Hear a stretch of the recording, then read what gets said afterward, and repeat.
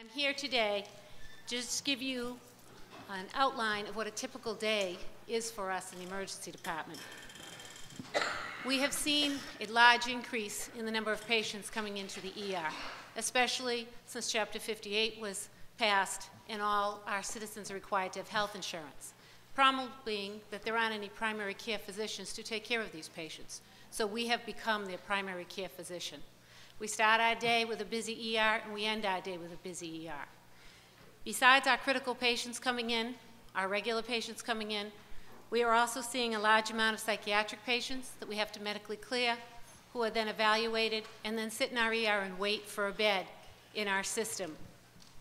A system that is, quite frankly, failed. We also have medical patients, critical care patients, who board in our emergency department for lack of beds on our floors. When our beds are full and there's no place else to send them because other hospitals are also full, they remain in the emergency department. However, there is no increase in staff when these patients are boarding in our department. The nurses that are taking the incoming ER patients are also required to take care of the boarding patients. The floors, when we send our patients up to the floors, a lot of times, it'll be the seventh or eighth patient that that nurse is taking on. That is way beyond the limit that a nurse should have.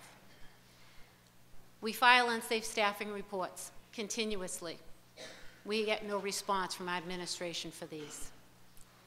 I'd like to give you an idea of what a typical night would be for me. I'm a night nurse. I will come in tonight to work, and there will be five of us. I have two new grad nurses, a nurse with less than two years' experience, a nurse with nine years' experience, and myself. And that will make up our staff for the night. I will have charge. I will be responsible for the flow of all the patients through that ER. I will be responsible for knowing which patients my nurses are capable of caring for due to their level of experience. I will also be the triage nurse. I will triage every patient that walks through the door, and I will direct the ambulances that come in. I will also be the mentor and the nurse that steps into the two new grad nurses to instruct them, to help them with their patients, and to take over a critical patient if one of their patients starts to become critical and they're not capable of caring for them because of lack of experience. I will also have the five, six, seven, or eight psych patients that are boarding in my emergency department because there are no beds for them to go through. So technically, tonight I will not be one nurse. My administration expects me to be five nurses. We need this Patient Safety Act. We need it now.